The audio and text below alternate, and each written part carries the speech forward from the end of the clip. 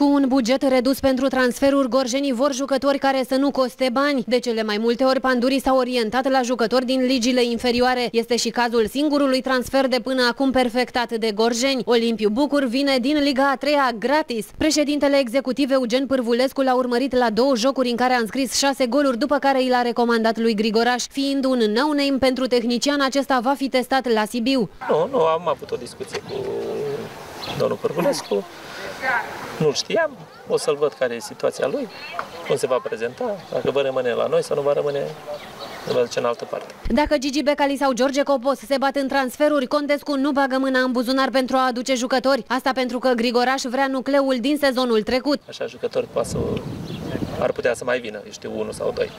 Dar e important să mă convingă să rămân aici pentru că nu o să mai fac niciodată greșeala sau, eu știu, s-au făcut suficient de multe greșeli aici pe care le-au recunoscut și cei din conducere. Până la noi oferte, Grigoraș are la antrenament 22 de jucători.